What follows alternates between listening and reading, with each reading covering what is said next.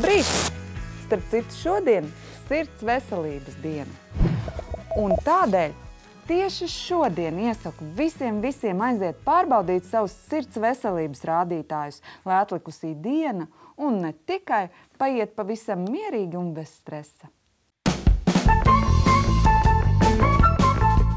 Pasaules sirds dienu atzīmē arī Rīgas pašvaldības Sijā Rīgas veselības centrs.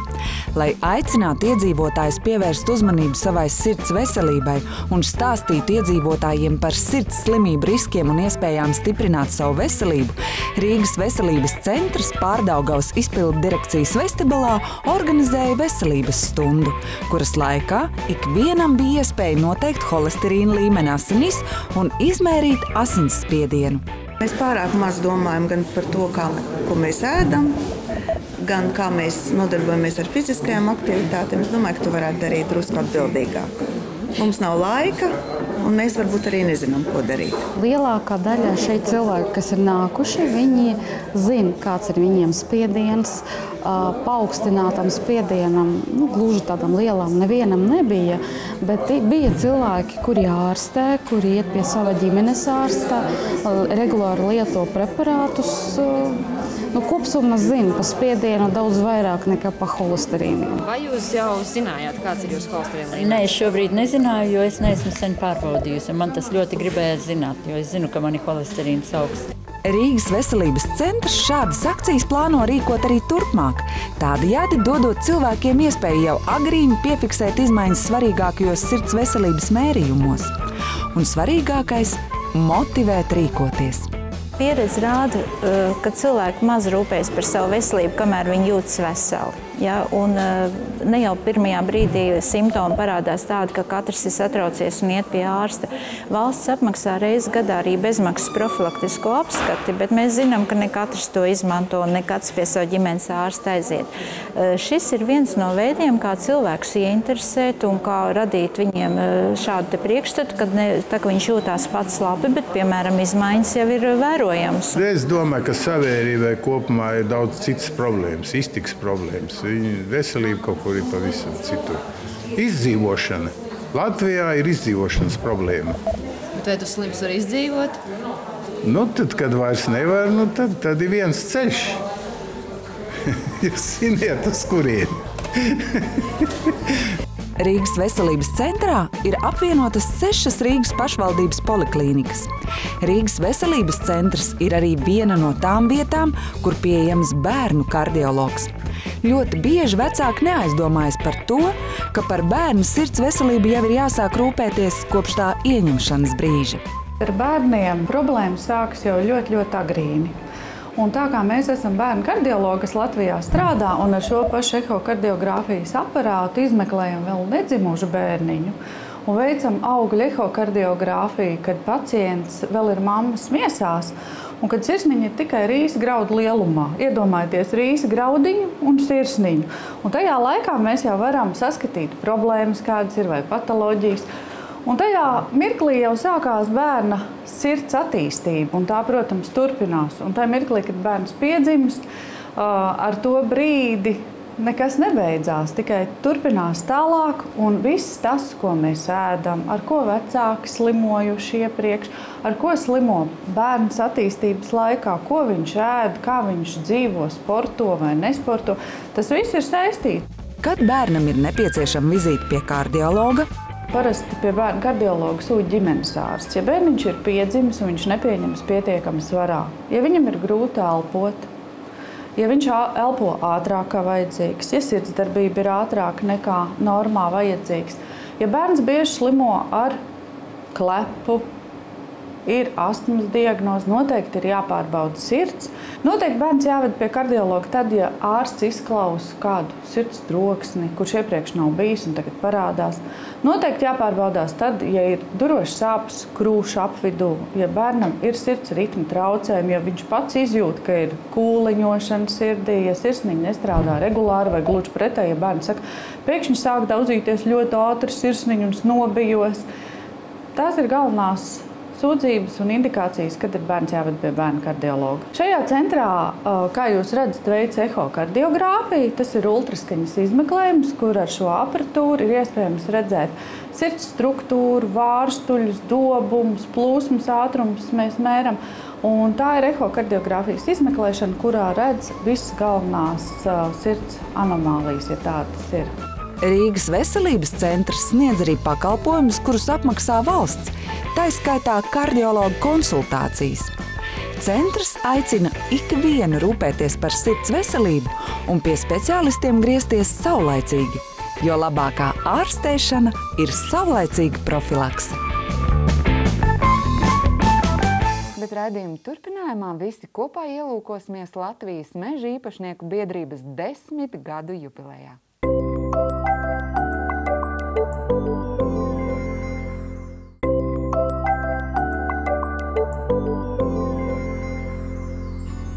Latvijas meža īpašnieku biedrībai šogad aprit desmit gadi. Atskatīsimies, kā biedrībai ir veicies šajā laikā, kas labs izdarīts meža īpašnieku labā, un vai biedrības dibinātāji šodien var būt gandarīti par tās veikumu. 2005. gads. Gads iesākās ar pēdējo desmitgažu lielāko vētru. Varbūt tas sakustina arī meža īpašnieku prātus un rada vēlēšanos pēc spēcīgas meža īpašnieku organizācijas. Ideja tiek realizēta 2. septembrī, kad sanākot kopā sešiem principiāli dažādiem drosmīgiem vīriem, tiek dibināta meža īpašnieku biedrība. Biedrība piesakās līdzdarboties zemkopības ministrijas un vides ministrijas organizētajās darba grupās. Nu, par meža īpašnieku biedrību varbūt ir īpašs tās. Ja tā paskatāmies uz notiekošo, tad faktiski Katru gadu Latvijā dibinās eh, tūkstošiem jaunu sabiedrisku organizāciju, bet tikai neliela daļa no tām iesakņojās un atrod savu vietu sabiedrībā. Eh, meža īpašnieku biedrība ir patīkams izņēmums. Eh, kad pirms desmit gadiem biedrība dibinājās, tas mēķis bija kļūt par nozīmīgu meža nozars interešu grupas pārstāvji, lai neviens lēmums, kas būtiski skar meža nozari, netiktu pieņemts par to, par to neņemot vērā meža īpašnieku viedokli.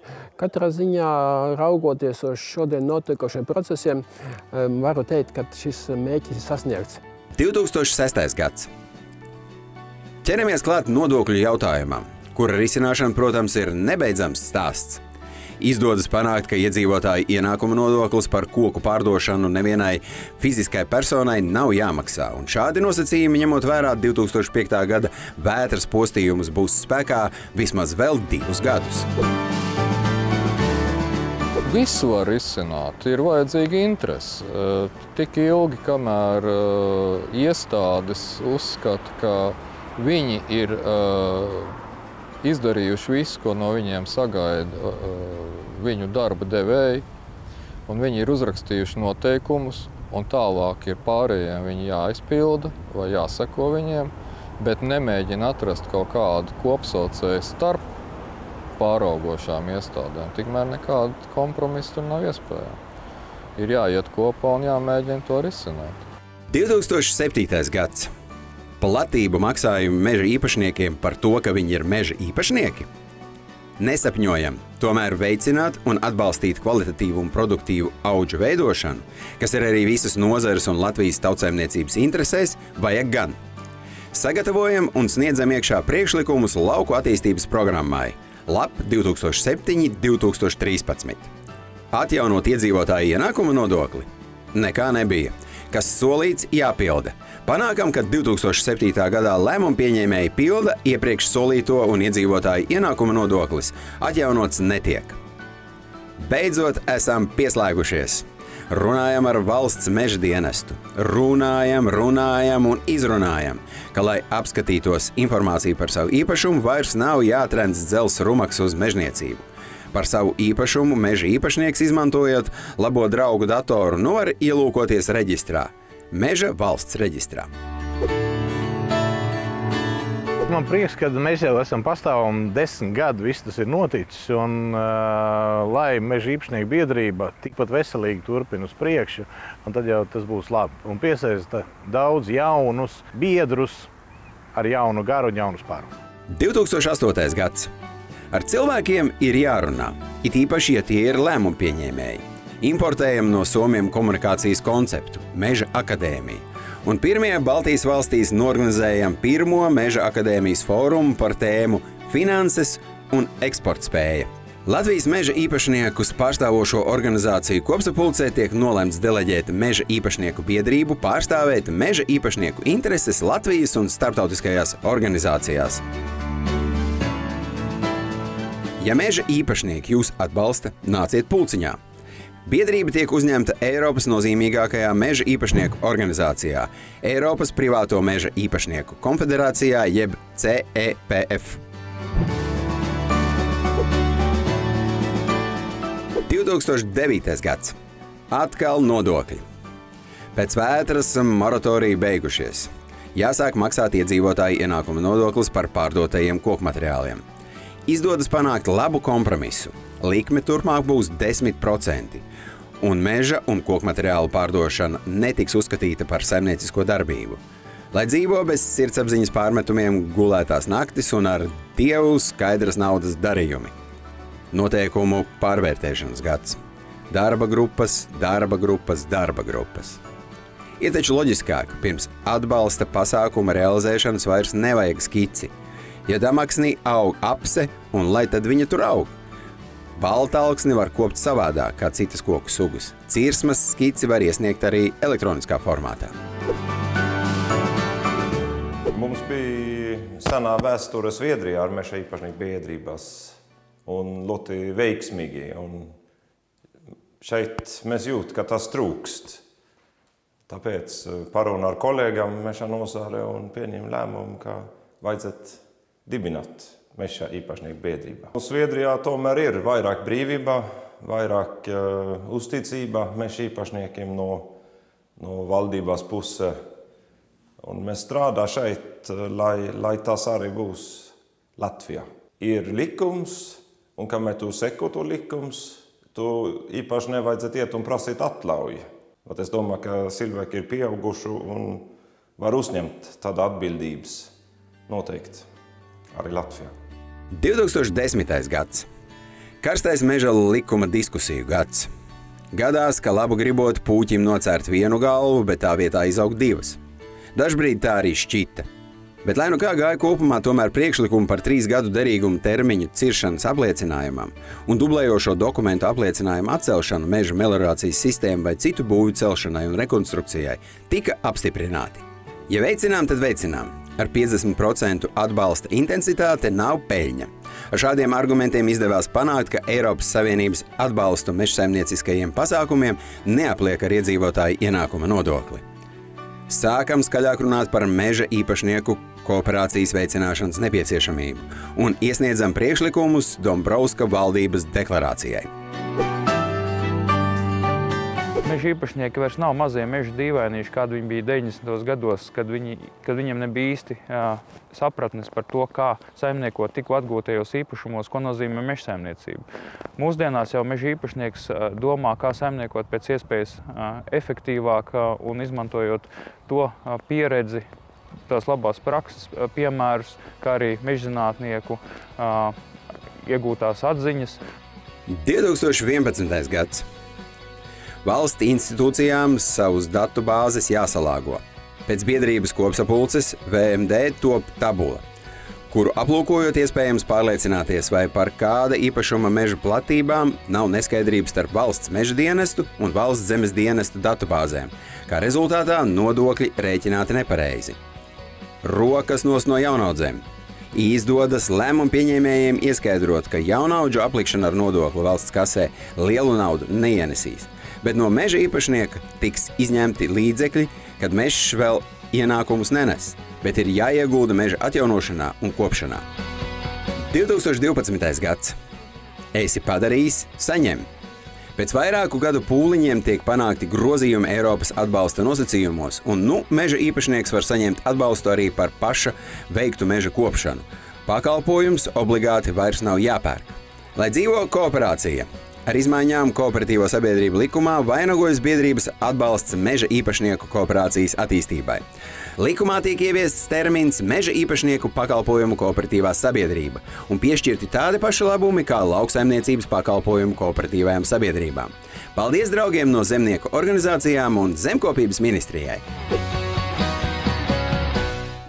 2013. gads. Jautājums no akcijas sabiedrības Latvijas Energo.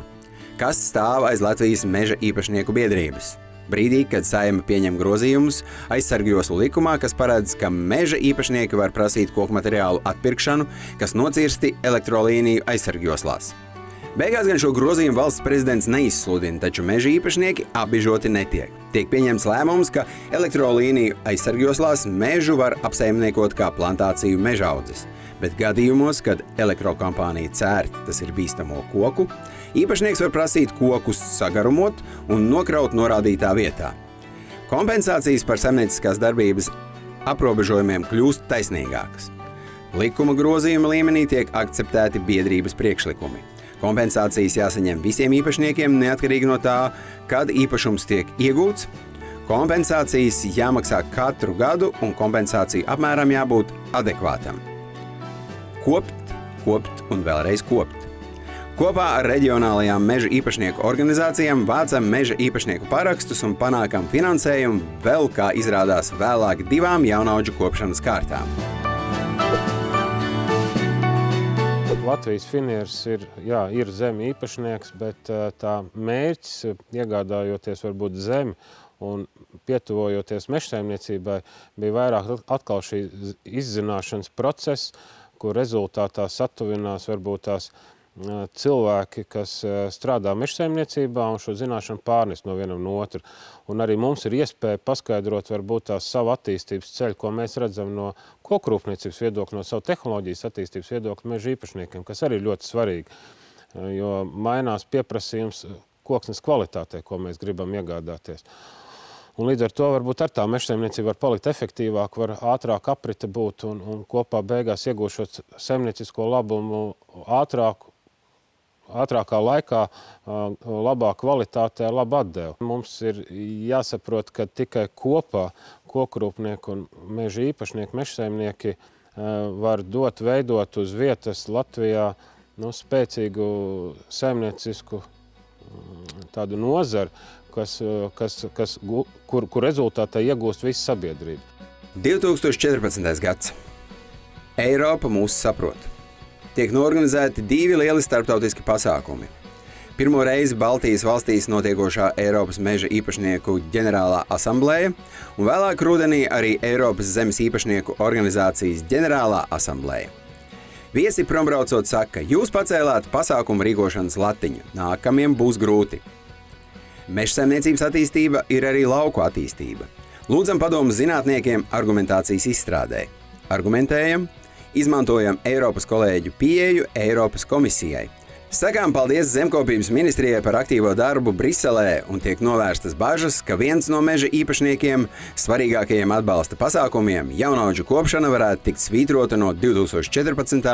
un 2020. lauku attīstības programmas saraksta. Ja nav labi ne zemes īpašniekam, ne upei, tad kāpēc ļaut tam augsnim sapūt? Uzsākam diskusiju par izmaiņām upju un ezeru aizsargjoslu apsaimniekošanā, lai novērstu turpmāku augšņu auģu sabrukšanu un zemes neracionālo apsaimniekošanu. Ko es gribētu novēlēt meža īpašniekiem?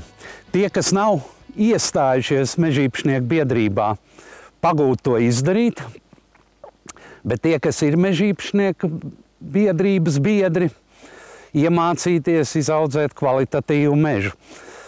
Kā mūsu mežkopības profesors Rokāns kādreiz teica, mums jāiemācās katra koka vietā caur mūžiem nākamību izaudzēt.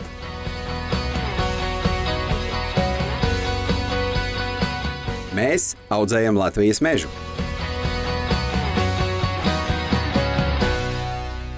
Šodienai tas arī viss, bet tiekamies jau rīt, kad mīlosimies ar gardajām eko dabas maizītēm.